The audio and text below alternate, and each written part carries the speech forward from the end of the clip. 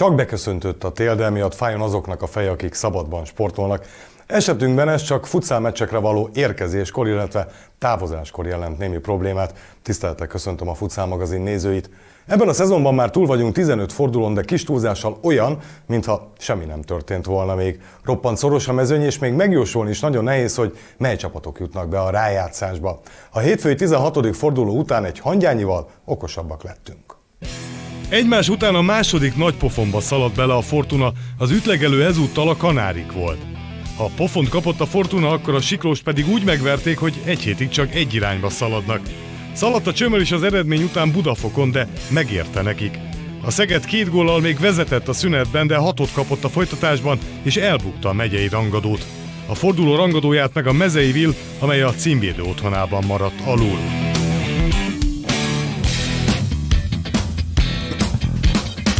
Kanárik egy hete idegenben is 13-at rúgott, a Fortuna viszont otthon kapott 8-at.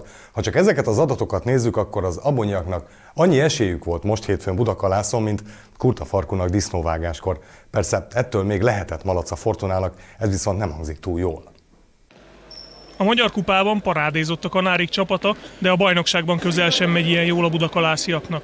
Vahutka Zoltán együttese csupán a hetedik helyen áll a tabellán, méghozzá úgy, hogy az első 15 fordulóban több pontot gyűjtött idegenben, mint otthon. Hazai pályán hét meccsükből mindössze kettőt nyertek meg eddig Simonék, a furcsa statisztika ráadásul nem csak a kívülállók számára meglepő. Ez nekem még nem tűnt föl egyszer sem. Talán az lehet az oka, hogy rendezettebben érkezünk meg vidékre, mert akkor egy helyről lennünk együtt, és nem össze-vissza esünk bekezdésre. Remélem, hogy ma meg lesz a harmadik, és akkor már kicsit szebb lesz a bizonyítványunk a hazai pályán. Nem úgy állunk, ahogy kellene, de szerintem most jön az a sorozat, amikor előre fogunk tudni lépni remélhetőleg. Egy sorozat első elemeként a soros ellenfél a Fortuna volt, amely az utóbbi időben komoly létszámgondokkal küzd, egy ilyen csapat ellen pedig nem könnyű készülni. Valamilyen szinten lehet ellenük készülni, de nem hiszem, hogy ezzel kellene nekünk foglalkozni, hogy hányan vannak, hogy vannak. Én azt hiszem, hogy vagyunk olyan szinten, a mi csapatunk, ugye azért kupadöntőt játszottunk, hogy akármilyen felállásba jön a, a Fortuna, nekünk szerintem nyernünk kell itthon mindenképpen. Létszám problémái azúttal nem voltak a vendégcsapatnak, hiszen pont 11-en voltak az abonyiak, akár nagypályán is játszhattak volna, de azért a kis pályát választották. Pirog József vezetőedző viszont nem érkezett meg a kezdésre, elakadt a dugóban vidékről jövet. Nem ő volt az egyetlen hiányzó, az órát is nagyon sokan hiányolták az első fél időben, ugyanis az időmérő berendezés nem működött. Így kéziméréssel haladtak a csapatok, az viszont biztos, hogy az első percben történt a találkozó első izgalmas jelenete, mégpedig egy labdaszerzést követően Cifferi lőtt, de Lakos könnyedén fogta. A folytatásban már inkább a másik térfélen pattogott a labda, és Pil Béla, akinek rengeteget kellett védenie, először Semsei, majd Kollár lövését hárította az abonyiak kapusa. Nyári Gusztáv egy után ismét megkínálja Pilt, de ismét hiába. Ő ugyanis a helyén. Marad a 0-0. Lakosnak körülbelül ennyi dolga volt az első félidő nagy részében, ez a kigurítás hibátlanul sikerült a kanárik hálóőrének. Ellentétben a lövéssel, amit ismét Pilvéd, az elkövető, Nyári Gusztáv ismét. Egy újabb lövés megpattan, itt már nehezebb dolga volt a Fortuna kapusának, de megoldotta. Akár csak ezt a feladatot, sokáig úgy tűnt, hogy Pilnek ma nem lehet gólt lőni. Itt egy váratlan Fortuna ellentámadás, nem sok volt belőle az első fél időben, a lövés azonban, hát finoman szólva sem volt tökéletes. Mint ahogy Simon szabadrúgása sem, Pilnek nem volt ideje elugrani a labda elől. Már túljártunk a félidő felén, amikor először rezdült a háló, méghozzá a vendégeké, egy hazai kontra végén Vörös Péter nagyon higgadtan gurított a kapufa segítségével a bal alsó sarokba. Megvan tehát a megérdemelt vezetés a kanárik számára, tökéletes a befejezés. A következő támadásnál nem, pedig ez sem volt sokkal kisebb helyzet, egy remek indítás után Simon Péter kerül zitzerbe, de Pir remekül jön ki és véd. Egy újabb abonyi villámlátogatás a hazai térfélen, amelyből indulhat a kanárik kontra, Semsei tökéletesen szolgálja ki Kollárt, ő azonban a kapufát találja telibe. Itt egy nagyon nagy lehetőséget kap a Fortuna, ugyanis Vejsz szabálytalankodik, és ez már a hatodik a félidőben, a 10 méterest azonban Lakos hárítja. Kozák lövése volt messze a tökéletestől. Itt egy cifferi ismét Lakos ezúttal a kapufa segítségével hárít. Az első félidő utolsó lehetőségét Vörös hagyja ki, Pil helyett ezúttal Dancák véd, 1-0 a félidő. Most is elsősorban azért a védekezés a főbb szempont, mivel, mivel nem a kezdő négyes, illetve nyolcas van. Én is sérülten játszom, úgyhogy, úgyhogy nehéz, nehéz, de megpróbáljuk kihozni belőle a maximumot. Azért egy-két lehetőségetek volt, hogy gólt lőjetek, volt egy 10 méteres is például. Igen, sajnos elhibáztuk ugyanúgy, mint én a múlt héten, de hát megpróbáljuk a második fél ezt, ezt kiavítani. Kisebb csoda történt a szünetben, meggyógyult az óra, így láthattuk, hogy egy perc és néhány másodperc telt csak el a második játékrészből, amikor Hajósi mellé lőtte ezt az ittszert. A forgatókönyv azért nagyjából nem változott, a kanárik volt óriási fölényben, és Pilnek kellett hatalmasokat védenie, többnyire meg is tette. Ennél a kontránál nem tette meg, de nem is kellett, hiszen Vörös rosszul passzolt. Nem találta el sem seit, így nem született meg a második hazai gól. Itt azonban igen egy szögletet követően Stadmüller teljesen üresen marad, és ezt már Pil sem tudja hárítani. Biva erős a lövés, a vendégkapus csak hozzáérni tud és besegíti jobb felső sarokba. 2-0 a hetedik percben a második félidőben. Majd jön az újabb hazai ellentámadás. Ezúttal sem Pilvét, hanem a kapufa, utána pedig Kozák. A folytatásban is igencsak kapaszkodniuk kellett a csarnok bal oldalán helyet foglaló nézőknek, hiszen majd felborult az aréna, annyira egy kapuzott a kanárik, de sokáig hiába, hiszen Pil mindent védett, amit csak lehetett. Itt azonban már ő sem segíthetett. Simon Péter a gólszerző, hát mit mondjunk, a gólkirály jelöltnek nem volt túl nehéz dolga. Pil igen bánja az esetet, hiszen egy védést követően kicsúszik a kezéből a labda, és Simon néhány nanométerről helyez az üres kapuba. 3-0, 12 percet tartott ekkor a második félidő. Két perccel később ismét Simon, ismét egy nem túl távoli befejezés. Egy bepaszt követően Pil nem tudta elkapni a labdát. Simon viszont igen, már majdnem elrontotta a helyzetet, de azért nem sikerült neki kihagynia. Megvan tehát a negyedik gól, és nem sokkal később jöhetne az ötödik, hiszen vörös kerül lövő helyzetbe, de Pil fantasztikus bravúrral hárít. A vendégek 31-ese tehát nem unatkozott, és az utolsó percekben is akadt dolga, itt Weiss passzát hatástalanítja. Nagyon nagy mentés volt. A második félidő 18. percében a szépítés reményében lehozta kapusát a vendégek alkalmi edzője Orbán Attila, és ez jó döntésnek bizonyult eleinte, ugyanis Hajósi László egy szép góllal szépített, ez volt a tizedik találata a bajnokságban a Fortuna házi gól királyának. Továbbra is Cifferi a kapus helyett, ezúttal azonban eladja a labdát, és ismét Simon Péter ismét egy könnyű gólt szerez már a harmadikat a mérkőzésen. Ez a bivaj erősnek még véletlenül sem nevezhető találat Simon 17. gólja a bajnokságban. Ezzel ismét ott van az utóbbi két szezon gól királya a góllövőlistai a mezőnyében. Hát nem volt túl nehéz dolga ismét. Komoly földrengésnek kellett volna bekövetkeznie, hogy ebből ne legyen gól. 5-1 két perccel a vége előtt, és az utolsó perc is tartogat egy találatot, továbbra is Cifferi a kapus helyett, és továbbra sem tud segíteni, bár ezúttal a kapuban áll, de ezt a vörös lövést nem védhette. Mutatja is, hogy srácok, én nem vagyok kapus, csak megkülönböztető mez van rajtam. Simon kacsint, itt már minden eldőlt, bár már sokkal korábban is tulajdonképpen Vörös állította be tehát a 6-1-es végeredményt. Az utolsó helyzet hajósi előtt adódik, de bombája mellé száll, így 5 góllal nyer a kanárik. Rúgtál három gólt, összesen kb. 30 centiről. Hát igen, és végre egy kútba voltam egy kicsit, úgy érzem.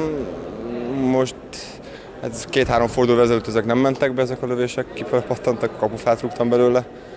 Most hála Istennek bement. Tulajdonképpen ez a játékunk, hogy a hosszú kapufához érkezni kell, ez szokott lenni az én feladatom. Hát most végre sikerült. Nagyon nehéz mérkőzés volt, mert beállt az ellenfél. Szívós kis csapat volt, de úgy éreztem, hogy belülről is, meg úgy is indultunk a mérkőzésnek, hogy nem lehet itt más eredmény, csak a győzelem. Mivel Pierre József csak néhány perccel a találkozó vége után érkezett meg a csarnokba, a beugró tréner véleményére voltunk kíváncsiak a találkozót illetően. Mint bemutatkozás ez elég érdekes volt, mivel hát nem nagyon nyertük el a, közönség szimpátiáját. Szerintem a játékunk még nem volt olyan felkészült, mint amilyet szerettünk volna. Edzünk, edzünk, de jelenleg ez a játékos keret szerintem erre alkalmas. Sajnos nincsenek olyan rutinos játékosaink, mint az ellenfélben voltak. Hát ez, ez meglátszott a játék minőségén is. Reméljük, hogy a kis János, a Gödölőről távozott edző azért segíteni fog nekünk ebben. A bajnok nemrég lemondott trénere a helyszínen tekintette meg a mérkőzést, de nyilatkozni nem kívánt Abonyi szerepvállalásáról, mint ahogy a többiektől sem tudtunk meg sok konkrétumot erről. Szerintem ez egy ilyen, ilyen baráti gesztus lesz tőle, hogyha ez létrejön, ennek nagyon örülnénk. Hát körülbelül ennyit tudok mondani, hogyha ő nem kíván erről nyilatkozni, akkor nyilván én, én, se, én se fogok ebbe regényeket szőni. A csőmontásnak múlt héten Berettyó véget ért a parádés sorozata, de ez mondhatnók törvényszerű, hiszen nem lehet mindig csak nyerni. Most viszont kötelező volt a győzelem Riszcutiáéknak, különben kaptak volna hideget, meleget.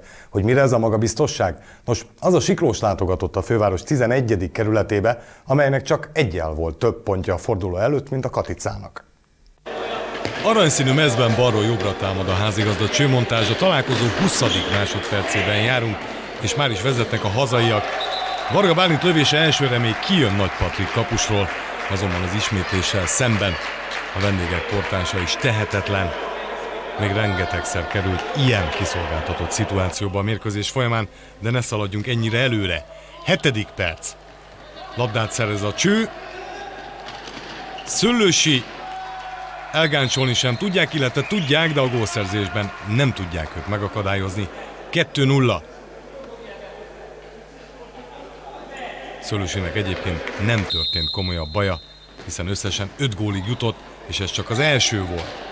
11. perc, elalszanak a vendégek, nem úgy Rizzutia, farkasszemet néz Nagy Patrikkal, aztán nagyon higgadtan löv a bal alsóba. Pedig a vendégkapus jól zárja a szöget, Rizzutia nagyon okosan lábfejjel alányul. 12. perc, Szőlősi erőszakos, és ennek rögvest meg lesz a jutalma. Ez a labda még kijön. Erdős felnéz. Szűcs, Szőlősi 4-0 a 12. percben tehát. Szűcs önzetlen, Szőlősi pedig pontos és második gólját szerzi. Három perccel járunk később. Tóth Miklós szerez labdát, kijön a lövése Nagy Patrikról, Azonban az egyik siklósi játékosról éppen Riszcutia elé pattan a labda, ő is a második gólját szerzi. Tehát még csak a 15. percben járunk. Ugyanabban a percben egy szabálytalanság, Büte volt szabálytalan, büntetőt ítélnek a játékvezetők, ez Szabó Zsoltnak nem tetszik, beszól a sporiknak, ők ezt meg annyira nem szeretik. Tóth Miklós áll a labda mögé, és aki szerencsével is, de megszerzi csapata a csőmontás hatodik gólját, és még mindig csak a 15. percben járunk. Nagy Patrik érezte az irány, de nem tudott hárítani. Egy perc múlva Risszútia, gyönyörű lövés. A siklós kapujának jobb alsó sarkában landol a labda. 7-0. És nem kezdődik jól a második játékrész sem a vendégeknek. Golyák szabálytalankodik, ekkor még nem sejt semmit, az semmiképpen sem, hogy a játékvezető felmutat neki egy sárga lapot. Ezzel még nem lenne baj, de már kapott egy ilyen színű kártyát, meg sem várja a pirosat, elindul az öltöző felé, azért a spori biztosan, biztos alapon felmutatja neki a piros kártyát. 23. perc, nekik 8, lassan már a Siklósnak is, Bici is feliratkozik a góllövő listára, nem akármilyen találattal. 24. minutum, Tóth Miklós. Ki van a hosszún? Például Ritszútia. Ő a negyedik gólját szerzi. Ez volt a csőmontás kilencedik találata. Egy perc múlva jubilálunk. Erdős a jobb oldalon, Szöllősi középen, őt veszi észre Erdős, és Szöllősi rúgja végül is a csőmontás jubileumi tizedik gólját. Ez lassan kezd vágóithoz hasonlítani szegény Siklósia. Újabb két perc telik el. Szöllősi, neki ez a negyedik gólja a csőmontásnak, ahogy látják is az eredményjelzőn, a 11. találata a 27. percben. Ez futszál iskola első osztály. Siklósi szabadrugás. Kijön a labda Revelandról, elindult Tóth Miklós, lesz-e tucat, hogy ne lenne. Riszcutia nagyon korrekt, nem rúgja be, hanem visszaadja munka nagyobb részét elvégző Tóth Miklósnak a labdát. Tucat. Egy nem tucat, meccsem. 31. perc. Tóth. Lemásolják az előző gólt, azzal a különbséggel, hogy ezúttal Palotás adja az asszisztot, vagyis a gólpaszt, sem ő, sem a cső kapitánya Tóth Miklós nem volt nehéz helyzetben. 13, szerencsétlen szám lesz ez még így se. Annál is inkább, mert a 32. percben Bámfalvi is feliratkozik a góllövő listára. Erdős passzát váltja góra. Ez a 14. cső találat. Újabb egy perc telik el, ki nem rugott még gólt, az előbbi előkészítő, vagyis Erdős, Bámfalvi adja vissza a kölcsönt. 15-0-ra vezet a csőmontás a Siklós ellen. Lassan kabaréba fullad a meccs. Erről persze nem a cső tehet. De talán szépít a siklós. Íme egy kis büntető. Ebből sem megy, Revelant parádésan véd, aztán azonnal indít, robog a csőmontázs. Az a csőmontázs, amelynek 16. gólját Szőlősi jegyzi. Ő összesen ötig jutott. Ez az ötödik gólja. Na most tessenek figyelni, olyan dolog következik, ami ebben az összefoglalóban még nem volt. Riszcútia hagy ki egy ordító helyzetet, Nagy Patrik azonnal kigurítja a labdát, és elindul a siklós. Mit elindul?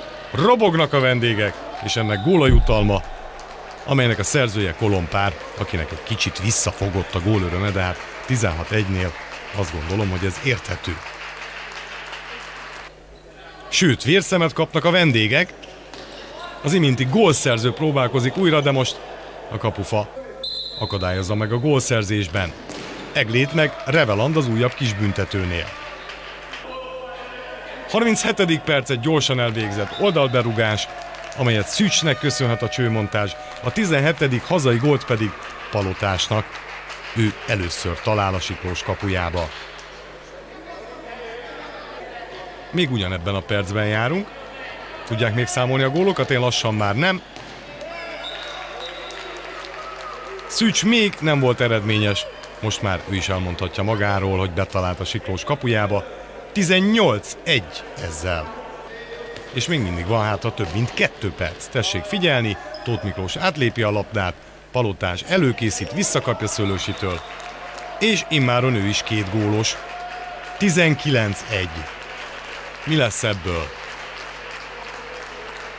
Nem lövöm le a poént, ha azt mondom, hogy a 22-es csapdája. Rögtön a gól után középkezdés. Ebben sincs sok örömük a vendégeknek. Szűcs erőszakos, Szőlősi meg hálás ezért. Szűcs pedig góllal fejezi be. Az akciót, neki ez a második találata, a 20. csőmontás gól. Kolompár is lehetne két gólos, ha nem revelandálna a kapuba. Parádésen védett a csőmontás cserekapusa ugyanis Márkus védett az első fél időben. Újabb csőtalálat, Palotás harmadik gólja 21-1. Ez már a 40. perc. Siklósiak szegények teljesen elfáradtak és föladták. Szerintem érthető. Akasztják a hóhért Reveland a kisbüntetőnél a labda mögött. Nagy Patrik azonban azt mondja, hogy na, azt már nem. És még mindig nincs vége. Másodpercek vannak hátra a találkozóból. Tóth Miklós szemtelen pimasz pörgetéssel beállítja a végeredményt. Kiütés a javából, 22 egyre nyer a csőmontás. A Siklós egy picit, vagy talán nagyon megszégyelheti magát.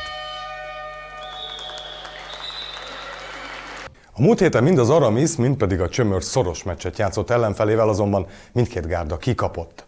Akkor az Aramisból Csernai, még a Csömörből Somogyi Mester hiányzott, de nagyon. Most viszont mind a ketten bevetésre készen álltak azon a meccsen, amely abszolút három esélyes volt.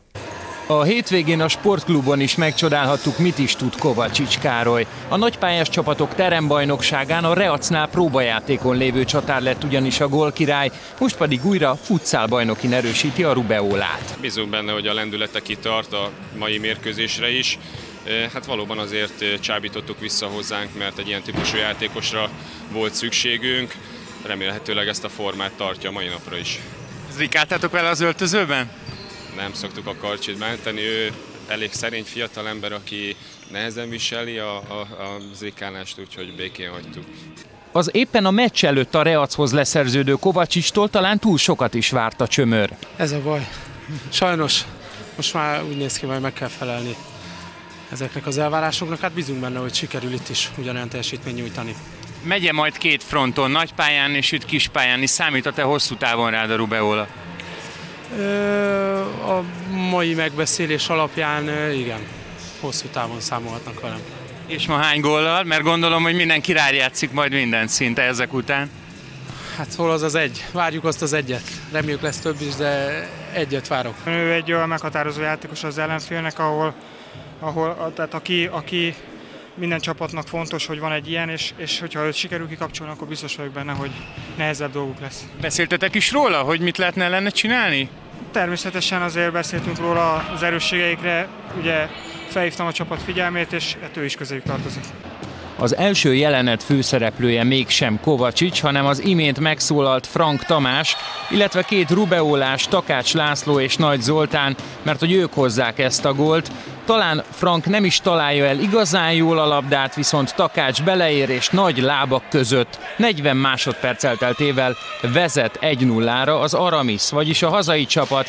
Német Péter aki mostanság az ügyeletes gólszerzője a Rubeolának egyenlít nem sokkal később. Ez már a 12. gólja a bajnokságban, a tőle megszokott bombagól. Aztán megint előnyhöz jut az Aramis, és ebben megint benne van Nagy Zoltán, mert nem volt rossz Nagy Gábor lövése, de hogyha rendesen felemeli a kezét, illetve időben a kapus, akkor talán meg lehetett volna ez a labda is. Aztán Kovacsicstól kerül Killikhez, viszont Solymosi a végállomás és nem a kapu. Nagy Zoltán kétszer is véd Német Péterről kerül valahogy hozzá, aztán pedig Csernai melkason lövi őt. Takács röviden szabadít fel, és Csernai kis hián sarokkal megszerzi a harmadik Aramis gólt. Azonban ezt a találatot nem ő, hanem Bárdi Kristóf jegyzi méghozzá a meccs 13. percében, de hát ez is inkább öngól, mert hogy nézzük csak, Megint szegény Nagy Zoltán kapus suta kézmozdulata eredményezi az Aramis gólját. 3-1 tehát. Később Nagy Gábor munkácsi akció végén Nagy Zoltán ezúttal védeni tud, majd Fogarasi nagy helyzete kevéssel mellé. Kovacsicsot nem nagyon láttuk eddig kapura lőni, most ezt is megtehetjük, Solymosi azonban a helyén, és bizony a kontra újabb Aramis gólt eredményez, a gólszerző pedig Csernai. Az előbb sarokkal nem ment, most viszont betalált. A 18. percben hárommal vezet az Aramis. Talán ez nem annyira papírforma eredmény, mint hogy az sem, hogy Kovacsics nem tud a kapuba találni, és német Péter sem. Érik a meglepetés a szünetben. A Kovacsics szerintem elfeledett egy kicsit a hétvégi teremtornán. Erre a mérkőzésre mindig kiemelten készülünk és hát most, most úgy látszik, hogy jó taktikát választottunk. Akár gólarányjavítás is lehet? Én nem szaladnék ennyire előre, legyen meg a három pont, az a lényeg. Solymosi kapust mégis lecseréli az Aramis, a képen látható fiú viszont Kovács Gábor, aki Nagy Zoltán helyére jön be a Rubeola csapatánál. És van is dolga az elején, illetve lenne, de a kapufa megmenti az újabb góltól az Aramis együttesét. Remekül kezdi a második félidőt viszont a Rubeola, méghozzá a nagybombázó német Péter csökkenti a különbséget, amely tehát most már csak kettő, mert hogy 4-2 a második félidő hetedik percében. Aztán megint német Péter tűzi rá, és az ismétlés pedig Györfi Jánosnak sem sikerül. Aztán végad nagy labdát Kovacsicsnak, de egyelőre a friss Reacosnak nem sikerül a gólszerzés. Pedig ez is gyönyörű csel, de Solymosi váltótársa Sikur Lajos is megmenti a góltól csapatát. Kovacsisnak tehát továbbra sem megy, viszont agilisabb a második félidőben, ez szemmel látható, de egyelőre ez kevés a gólhoz. Mondom egyelőre, mert aztán végül a meccs 35. percében Kovácsics is betalál 4-3. Ez az a bizonyos első gól, amiről beszélt a mérkőzés elején a csatár. Ha ez megvan, akkor talán jobban megy majd a játék később. Hát bizony jobban megy, mert egy perc telik el, és újabb Kovácsics gól. 4-4. Három gólos hátrányban volt még nem is olyan régen a Rubeola, most pedig egyenlő. Négy perc van hátra, és lehet, hogy a semmiből hozza vissza a meccset a csömöri együttes. Somogyi, Kovacsics, kioldalra Német Péternek, vissza Kovacsicsnak, gyönyörű gól. És nincs erre jobb szó, a szemükbe nevet az aramiszosoknak. Nem annyira szerethető figura ilyenkor persze Kovacsics Károly, viszont szerethető, hogyha a futball tudását nézzük, gyönyörűen tette bele a lábát Német Péter lövésében, 4-5 tehát. Vészkapussal próbálkozik az Aramis, azonban nem sok sikerrel. Itt pedig egy játékvezetői tévedés. Már átvitte a felező vonalon az Aramis játékosa a labdát, mégis szabálytalannak tartja először ezt Farkas Balázs, mert ugye a kapus kidobását követően át kell vinni a játékosnak a félpályán a labdát, és szerinte ez nem történt így, aztán persze visszafújja, bocsánatot is kér, de Frank Tamás persze nem tudja szó nélkül hagyni, kiállítja ezért a játékvezető. Utána pedig Kovacsics szerel szabályosnak tűnően, a játékvezetők szerint nem, Kovacsics ezt nehezményezi, és addig perlekedik a játékvezetőkkel, amíg ki nem állítja a bíró. Piros lapot kap, vagyis a három gólos játékos legközelebb már nem játszhat majd a Rubeolában. A kisbüntető kimarad, utána pedig egy piros lap, egy újabb, a Rubeola elnök játékosának kézik Vassai Gábornak. Így aztán emberhátrányban játszik, 3 plusz 1 játékossal a Rubeola, mégis megmenekül az egyenlítő góltól. Maradt tehát a 4-5, nem olyan sokáig, mert ők is kis büntetőhöz jutnak, és a Rubeolából német Péter már nem hibáz. Ezen a meccsen harmadik gólját szerzi, és kialakul a végeredmény.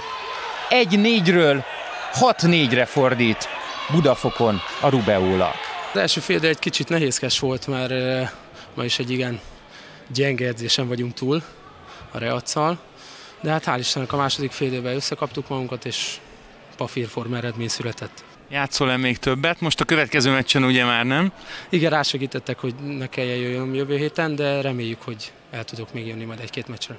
99%-ban magunkat okolom, meg természetesen volt egy olyan ellenfél, aki nem zuhant össze, de hát nem szoktam játékvezetőkkel foglalkozni, de talán ez a mai interjú nem velem, vagy a, vagy a négy gólos Kovacsics, vagy három nem tudom hány gólt rugott, azt kellett volna mondjuk egy játékvezető ellenőrt megkérdeznék, hogy hogy ő hogy értékeli ezt a mérkőzést, mert, mert igazából ö, ö, én, én nem tudom helyébe, hogy mit mondjak.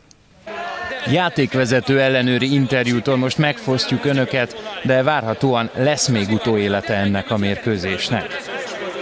Ami nagypályán a Diózsőr Nyíregyháza, az futszában a Szeged Szentes testvérvárak csatája rangadó a javából. Ilyenkor szoktak a szakértők különböző sztereotípiákat előkapni, úgy, mint például a két csapat helyezésétől függetlenül, ez mindig rangadó a javából. De most ezt én nem mondhatom, ugyanis a találkozó előtt a házigazda Szeged a negyedik, míg a vendég Szentes az ötödik helyen állt. Ráadásul a vendégeknek mindössze három pont volt a hátrányuk vendéglátóikkal szemben, vagyis ha a Szentes nyert volna, de ne találgassunk, inkább nézzük a derbit. Csongrádi derbivel folytatódott a 16. forduló, a Szeged otthonába látogatott a Szentes csapata. A hazaiak mestere, Szabó Zsolt az őszi mérkőzésből vonta le a tanulságokat a mai meccsre, mely akkor 2-2-re végződött. Azon a mérkőzésen egy kicsit jobban játszottunk, mint a hazai csapat, és 2-1-nél voltak lehetőségünk, hogy le tudjuk zárni a mérkőzést. Én azt mondom, hogy ha ma is eddig eljutunk, hogy vezetünk, akkor én bízom benne, hogy tanultunk azokból a hibákból, és meg tudjuk nyerni a mérkőzést. Most Kátó Gyula nem fog játszani, ez mennyire nagy veszteség? Mindenféleképpen veszteség a csapatnak, de én azt gondolom, hogy megfelelő csapatjátéka tudjuk pótolni. Zöldben tehát a Szeged, fehérben pedig a Szentes. Kezdődik a találkozó, nem kell sokat várnunk az első gólra. Csúri passzából érkezik, Szentágotai Szabolcs, és megvan a vezetés. Remek keresztpassz, a szentesi védők pedig még talán a kispadon vagy az öltözőben. Nem sokat késik a válasz, szarvas húzogat, majd benne a labda, második percben járunk, Már is egy-egy az állás. Remekül teszi be Konca labdát a centerbe, és ott a gól. Hetedik perc, újabb center lehetőség, Erhardt, azonban ez is kimarad. Ismét Konc, egy távoli bomba, nagyot védett Tihanyi. Ismét csak szentesi lehetőség, a 11. percben járunk, egy eladott labda, fordul Szentágotai, elesik, szerencsére ott marad a labda, tovább teszi és megvan az újabb hazai találat, melynek a szerzője Rácz Attila.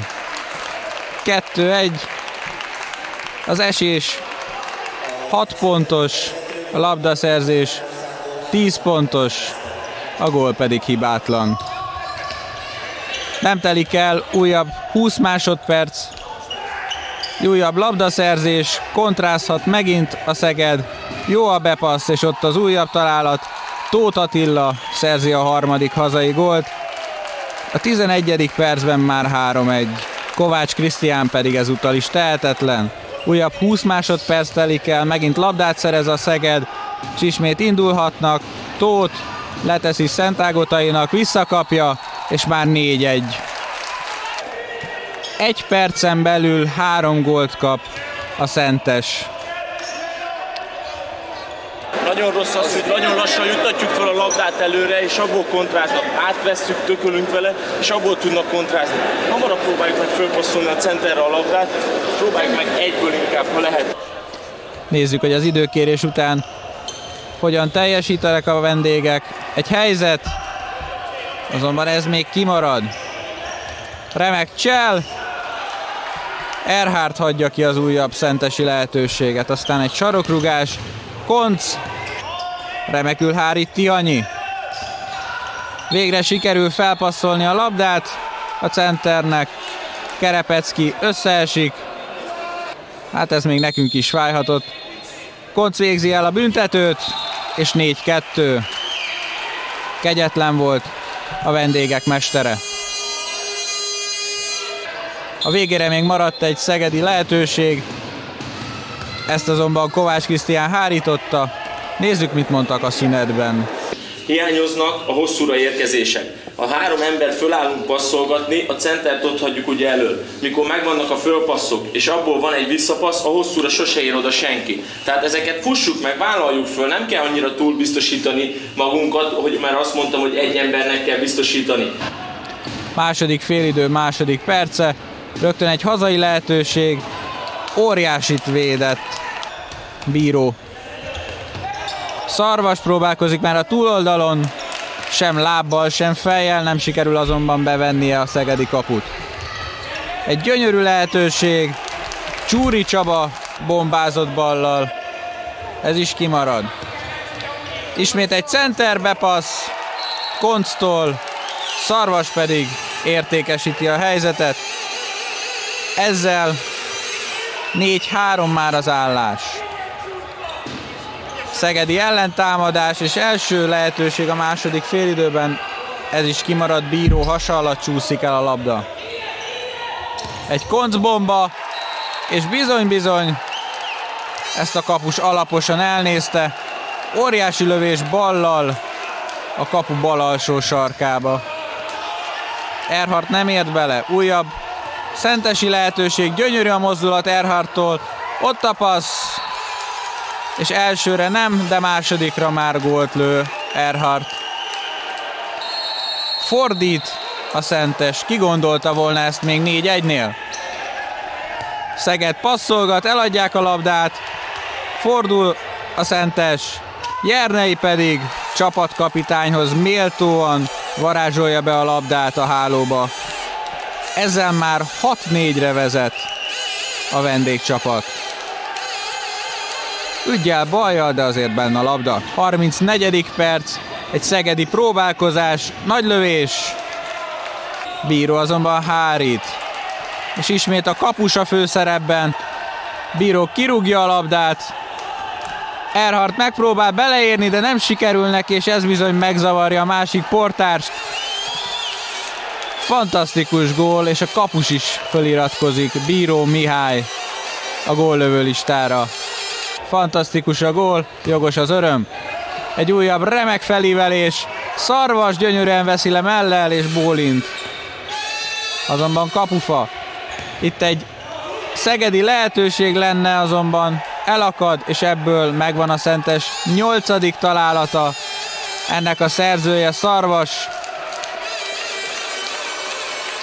A vízkapussal játszó Szeged mindent megpróbált azért, hogy szépítsen. Nem sikerült neki. Itt Szarvasnak könnyű dolga volt. Még a végére maradt egy távoli bomba, azonban az eredmény már nem változott. 8-4-re nyert a Szentes a Szeged otthonában, és ezzel a győzelmével utolérte a táblázaton a Szentes a Szegedet.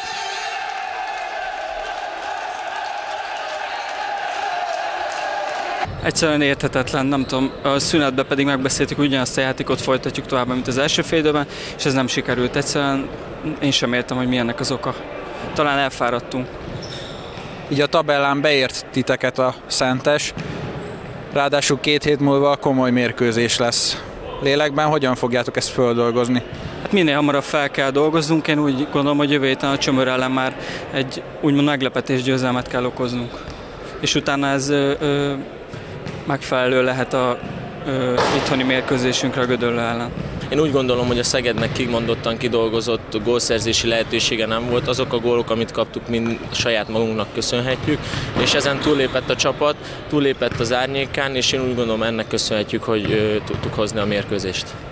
Második félidőben rendre odaértetek a kapuhoz, a kapufához, és ebből gólokat szereztetek. Erre is felhívtad a figyelmet? Mindenféleképpen a félidőben erre felhívtam a srácok figyelmét, hogy érjünk oda a hosszúra.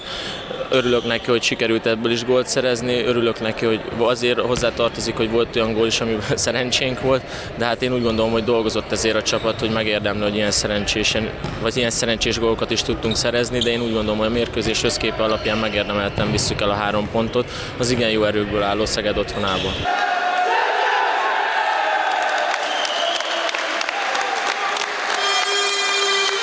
A kereskedelmi szünet előtti meccs sem volt semmi, azonban a forduló igazi rangadója most következik. Igaz ez még akkor is, ha tudjuk, hogy a Magyar Kupa elődöntőjében a Gödöllő faluban iskolázta le a mezei vilt, azonban a közhely itt is érvényes, minden meccs más. Ráadásul annál inkább igaz, mert hogy tudjuk, a tabella első két helyezettje csapott össze Gödöllőn. A sarokban már készenlétben a kupa, amit most lehet megmutatni a hazai közönségnek. Számít valamennyire az, hogy mondjuk az elődöntőben nagyon sima győzelmet arattatok a mezei Vill ellen egy ilyen bajnoki előtt? Hát nem számít, mert az egy kupa elődöntő volt, ez meg egy bajnoki mérkőzés, és a kupa meg a bajnoki az teljesen más, az egy teljesen különböző kategória. Igaz, lent kellett játszani, tehát nagyon meggyőző játékkal nyertünk ott lent. Hát ez nem lesz annyira meggyőző játék a mai, mert azért vannak hiányzó játékosaink. Az ellenfélben azért ilyenkor benne van a nagy zakó élménye, hogy egy kicsit óvatosabbá válik? Hát nem tudom, ezt kérdez meg tőlük. Hát én úgy érzem, hogy nincsen bennünk az a mélyütés, ez a mai mérkőzés egy teljesen más mérkőzés lesz. Én úgy érzem, hogy ott egy kicsit a csapat túlpörgött, és ennek következtében hazai pályán túlságosan bizonyítani akart, ami az első fél időben sajnos olyan eredménybe torkolott, amiből már nem tudtunk felállni. Itt van esélye, komoly esélye a mezei Vilnek egy pontszerzésre? Én úgy érzem, a mezei Vilnek mindenhol van esélye, ha elhiszi magáról azt, hogy nyerni tud, és az ellenfél nem jobb csapat annyival, hogy ne legyen esélye, és úgy érzem, hogy a mai mérkőzésen a srácok ezt meg is próbálják bebizonyítani. Reméljük, hogy sikerül, és akkor ponttal tudunk innen legalább távozni. A névváltozáson átesett és tiszta kékben jobbról balra támadó gödöllőiek Vélhetően csak a három ponttal lettek volna elégedettek, szentelövése jelezte is ezt, ám a mezei Vill is komolyan gondolta a fogadkozást, ha Kolompár jól veszi át a labdát, már vezethettek is volna a negyedik percben, majd Nagy Tibor erőtlen próbálkozását láthattuk. Aztán újra Kolompár kerül helyzetbe, lövése után azonban mellé száll a labda. Jöhet egy gödöllői kontra, amely a mérkőzés elején még nem volt túl acélos, nem volt jó lódi passza. Madarász, Kolompár a másik kapu előtt is veszélyes, itt pedig láthatjuk, hogy Madarász másodjára sem tudja bepréselni az ellenfél hálójába a labdát. Siváknak jó a csele, Lainak meg a szögzárása. Madarász újra helyzetben, finom a megoldás, de éppen csak, hogy mellé megy, majd jön egy hasonló szituáció, Lódi azonban erőből. 1-0 a Gödöllőnek, Kiváló rugó technikával megáldott játékosról van szó, a válogatott Spiller nem sokat teketóriázott, vezetnek a hazaiak. Jön a találkozó talán legszebb helyzete Sándor sarokkal. Pallait azonban nem lehet felültetni, és itt takkó lövésénél is résen van. Már egyértelműen jobb a gödöllő, Berkes, és takkóról pattan ki a labda. Most abszolút partiban vannak az élovassal. Hát igen, egy bajnoki mérkőzés, lehet, hogy a gödölő tudja azt, hogy elég jó pontarányjal vezet, vagy vezetett, mert elmaradt meccsei vannak, de az otthonában azért mindig presztízs mérkőzés ez. Én úgy gondolom, hogy sok mindent tudunk már, hogy hogyan csinálnak, sok mindent nem tudunk megcsinálni, hogy kivédekezzük, vagy az ellenszerét mint ahogy a gólt is kaptuk. Mind a két csapat gyengén játszik, a Berettyó az visszát kontrára játszik, abból próbálnak valamit, ilyen erőledobásokból. Mi meg nagyon gyengén játszunk, keveset futunk, keveset mozgunk, a labdás sokat áll a labdán, nagyon lassan játszunk a játékot. Kicsit fel is pörgette, szünet után a kékmezes csapatajátékot, madarász helyzetét láttuk, majd Tóth Gyula percei következnek, remekül jön ki a kapuból, a hálóér kétszer egymás után ment, jó ütemérzékkel. Nini, egy ismerős arcám ezúttal nem a kispadon, hanem a leláton. Kis János kíváncsi az exekre, és láthatja, ahogy Sivák kapufát lő a találkozó 25. percében. A vendégek továbbra is az egyenlítésért küzdenek, angyalos előtt szabad a terület. Jó is a passz, egy visszakurítás, de megint jól zárnak a hazaiak. Most nagyon jó és változatos a meccs, egyik kapu, másik kapu felváltva forognak veszélyben a ketrecek. Ez egy elcsípett labda, és ez végzetes lehet, hiszen jön Berkes, és bezúdítja. Éles szögből, éles lövés, föl a jobb felső sarokba, mindez a találkozó 31. percében. Ha egy üzlet beindul, Berkes ugyanonnan, de nem ugyanúgy, ezúttal Pallai véd. Jönnek a fehérek, ez is szép akció, de az az utolsó fránya passz sehogy sem akar összejönni. Ám ez nem szegi a kedvüket, Nagy István lő. Tóth azonban belemelegszik, nem is kicsit madarász, lehúzza. Palla is tudám nagyot védeni, nem is egyszer. Lendületben még mindig a vendégek Trencsényi, Spitzel ám ezúttal mellé. Majd nézzük ezt a támadást. Madarász tovább húzza, Gyurcsányi, érkezik Lódi először, másodszor, senki többet harmadszor, 3-0. Itt lehet jól látni, hogy milyen szép a visszagurítás, és másodjára Lódi nem hibáz. Kemény legények ezek a Berettyó újfalújak, mert még mindig nem adják föl. Tabás lövése, majd jöhet Nagy István 10 méterese, Tóth Gyula azonban a nap hőse, ám ekkor történik valami. Lejön a kapus pallai, és átállnak a vendégek, az öt játékra, vagyis vészkapussal játszanak. És ennek a 38. percben itt az eredménye Trencsényi szépít. Elárulhatom, az utolsó két percben egy új mérkőzés kezdődik. Ez a felvezető gól. Középkezdés után egy labdavesztés jön Tamás 3-2, és még mindig van hátra másfél perc. Tamás az előző fordulóban Mester 3-as lőtt, itt van a mai első gólja. No, nem hagyja annyiban ezt a gödöllői csapat. Egy szokásos Lódi erős passz, és ahogy kell Madarász belövi közelről. Lódi mestere az ilyen asszisztoknak, Madarász pedig a góllövésnek. Úgy tűnik, hogy jöhet a következő gól, de Szitko a játékos edző bemutatja, hogy kézzel is jól bánik a labdával. Trencsényi, milyen passz, ez is jó, és ott van Tamás második gólja, 4-3, ez már a 40. perc történése, Hát, élményszába ment ez a vendéggól. De kié a végszó? Mit gondolunk? Hát a hazaiaké. Ekkor már nem cserélik vissza a kapust, és ez Szente köszöni szépen. Beállítja a végeredményt. 5-3. Egy nagyon is jó meccsen. Igazi rangadó volt ez. Őrültre sikeredett a vége. Hát nagyon jó meccs lett. Igen.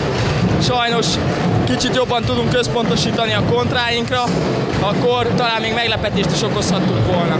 A te gólod után varázsütése jobb lett a támadójátékotok? Hát úgy érzem, hogy érett már ez a gól, mert nagyon sok létszámfölényes helyzetet sikerült sajnos kiadnunk, és hát előbb-utóbb a nagyszámok törvénye alapján be kellett, hogy találjunk. Ez ad nektek valami fajta önbizalmat, hogy ennyire meg tudtátok szorítani Magyarország legjobb csapatát?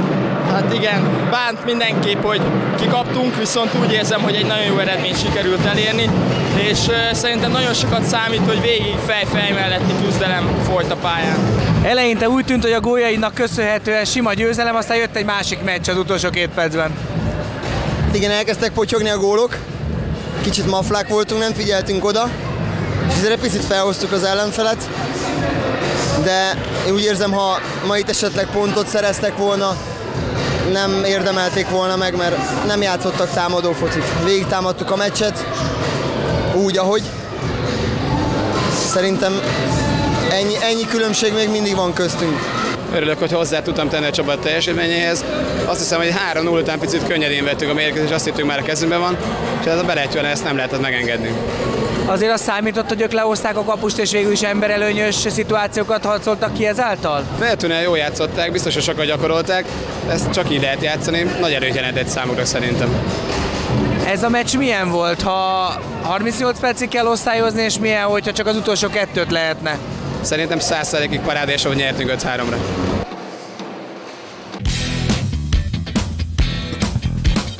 Ezek voltak tehát a 16. forduló összefoglalói, most szaladjunk gyorsan végig még egyszer az eredményeken, és vessünk egy pillantást az aktuális tabellára is. Két meccsen 19-et rugott a kanárik, éledeznek Simonék, nem úgy a Fortuna.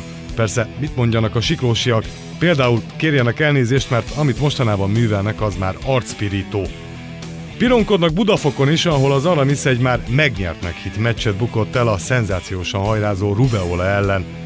A szenzációs hajrá a Szentesre is igaz, Szegeden most nem csak a halászléfő, hanem egyesek feje is. A forduló rangadóján nem tudott meglepetést szerezni a Berettyó. Ebből kifolyólag tovább növelte előnyét a címvédő a tabella élén, a cső pedig visszavette a második helyet a mezei legényektől. A Szentes nem csak a meccsen került a Szeged fölé, hanem ezáltal a tabellán is. A csömör és a kanárik tovább kapaszkodik, ők még akár a rájátszásba is juthatnak, nem úgy a mezőny vége, amelynek élén az Aramis, amely ennek ellenére ugyanúgy helyben jár, mint a Fortuna és a Siklós. A gólszépségverseny fennállása óta nem volt még rá precedens, hogy ennyire sima legyen egy verseny. Öt szavazat kivételével mindenki más úgy gondolta, hogy egy siklósi fiú góljánál nem volt szebb a múlt hét.